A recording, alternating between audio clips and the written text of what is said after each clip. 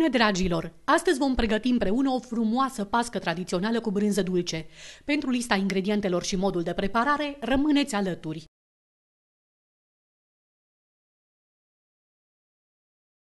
Pentru aluat vom folosi 350 de grame de făină, 15 grame de drojdie proaspătă, 80 de grame de zahăr, coaja de la jumătate de lămâie, un praf de sare, o linguriță de extract de vanilie, 4 gălbenușuri, 75 de ml de lapte și 60 de grame de unt topit. Pentru umplutură vom folosi 350 de grame de brânză de vaci bine stoarsă de zer, 2 ouă întregi, 80 de ml de smântână dulce, 150 de grame de zahăr, o linguriță de extract de vanilie, coaja de la jumătate de lămâie, Opțional puteți folosi 50 de grame de stafide înmuiate în 4 linguri de rom sau de lichior și pentru finisat un gălbenuș bătut cu 2 linguri de apă rece.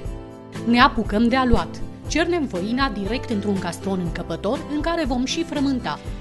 Din cantitatea totală de 80 de grame de zahăr prevăzută pentru aluat, punem într-un castronel peste drojdia proaspătă două lingurițe și începem să amestecăm energic.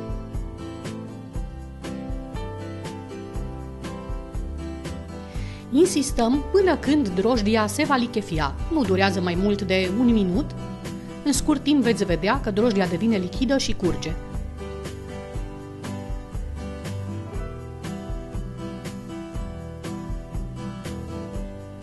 Separăm 4 ouă foarte proaspete și vom colecta cele 4 gălbenușuri de care avem nevoie pentru aluat într-un castron.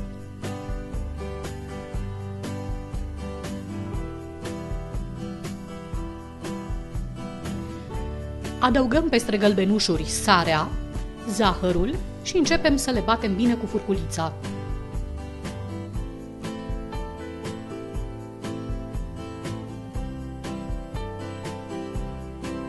Adăugăm o lingură de extract de vanilie,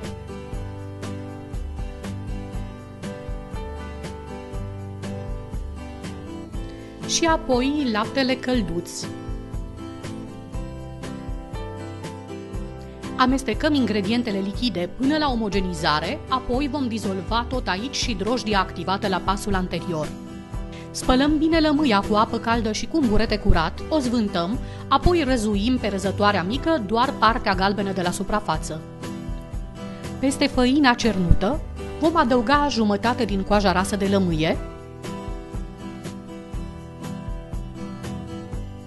apoi vom turna deasupra toate ingredientele lichide. Cu o spatulă avem grijă să răzuim tot ceea ce a rămas în castron.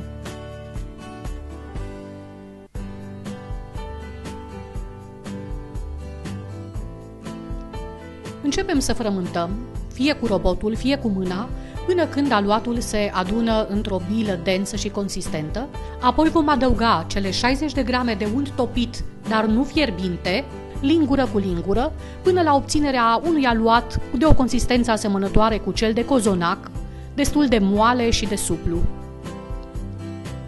Aluatul bine frământat îl așezăm într-un castron uns cu o peliculă fină de ulei, apoi îl acoperim cu folie alimentară și îl vom așeza într-un loc călduț să crească până când își dublează volumul.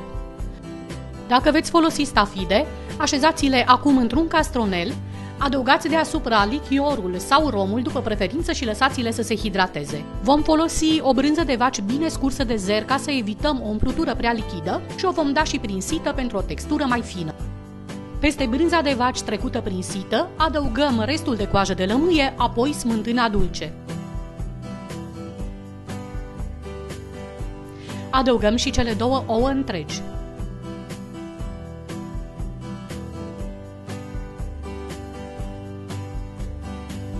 O lingură de extract de vanilie și 150 de grame de zahăr, dar dacă vă place mai dulce, puteți să adăugați zahăr în plus.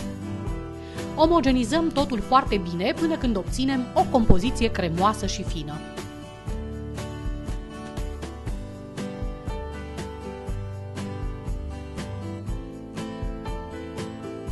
Dacă ați optat să folosiți și stafide, acum este momentul să le adăugați și pe ele, cu tot cu lichiorul sau romul în care s-au hidratat. După o oră, o oră și jumătate, aluatul trebuie să-și fi dublat volumul. Este un aluat cu multă grăsime și ouă și zahăr, de aceea crește ceva mai greu. Răsturnăm aluatul pe planul de lucru perfect curat și uns cu foarte puțin ulei, apoi îl aplatizăm, dându-i o formă oarecum dreptunghiulară.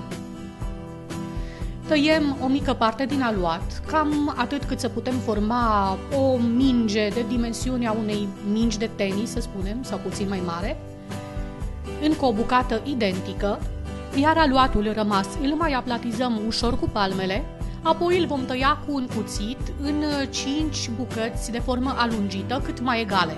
5 bucăți pentru că eu doresc să fac pentru pasca mea o bordură împletită în 5. Fiecare dintre cele 5 bucăți alungite pe care le-am tăiat la pasul anterior se modelează sub forma unui șnur de o lungime de aproximativ 70-80 de centimetri. Trebuie să fie neted, perfect rotund și uniform.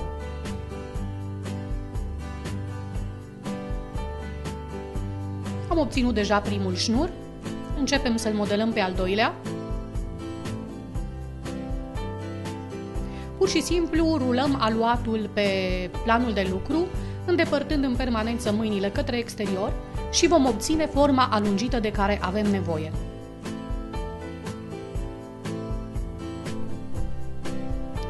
Iată, am terminat cu modelarea tuturor celor 5 șnururi. Ca să împletim aceste șnururi în 5, în primul rând le vom lipi la unul dintre capete, vom presa bine și le vom desface în formă de raze. Procedeul împletirii în 5. Vom începe din partea dreaptă, deplasând primul șnur din dreapta în a doua poziție din stânga, apoi pe primul din stânga la mijloc și vom trece al doilea șnur din stânga pe deasupra celui din mijloc. Aranjăm bine șnururile, le strângem în locul împletiturii și continuăm. Deplasăm primul șnur din dreapta către stânga până în poziția a doua. Primul șnur din stânga se deplasează spre dreapta până la mijloc, apoi cel rămas pe poziția a doua din stânga se trece pe deasupra celui din mijloc. Acest procedeu se repetă până la capăt, până ce șnururile vor fi împletite în 5 pe toată lungimea. Dacă procedeul vi se pare greu de urmărit, îl mai am exemplificat încă o dată în detaliu la rețeta de pâine împletită în 5. Sau, și mai simplu, împletiți în 2 sau în 3.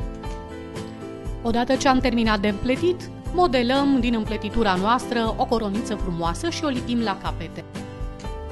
Într-o tavă în care am așezat o coadă de hârtie de copt, vom apalatiza una dintre bucățile mai mici de aluat pe care le-am tăiat la început și vom da o formă de cerc cu diametrul de aproximativ 22-23 de centimetri.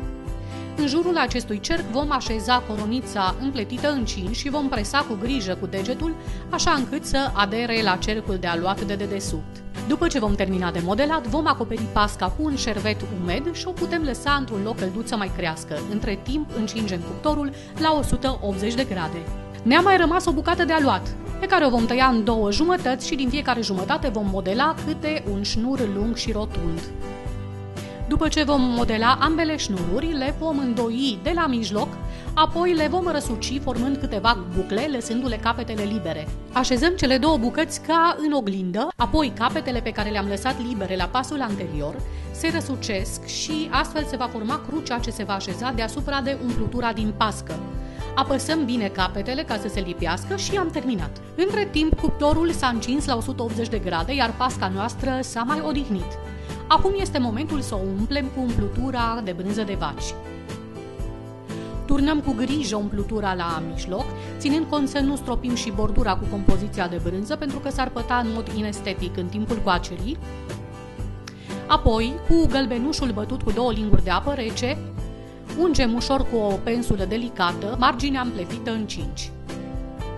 Pasca se dă la copt în cuptorul preîncălzit la 180 de grade la o înălțime medie. Se va coace timp de 20-25 de minute până când interiorul, umplutura va fi devenit destul de fermă ca să susțină crucea de aluat pe care am pregătit-o mai devreme și pe care între timp am păstrat-o într-un loc călduț acoperită cu un șervet umed. Dacă am fi așezat crucea de la început, s-ar fi scufundat în umplutura încă semilichidă. Vom finisa și crucea de aluat cu gălbenuș bătut cu apă rece, apoi vom da din nou pasca la cuptor pentru încă 20-25 de minute. Timpul indicat de coacere este de 50 de minute, iar dacă veți observa că marginile se rumenesc prea rapid, vă recomand să le înveliți cu grijă în folie de aluminiu și să continuați coacerea până la trecerea timpului total recomandat. Și iată ce minunăție frumoasă și parfumată am scos din cuptor după 50 de minute. Aceasta este pasca, un desert tradițional de Paște, festivă, frumoasă, apetisantă, tot ceea ce este mai nimerit pentru o masă de sărbătoare. Eu vă doresc poftă bună și spor la treabă!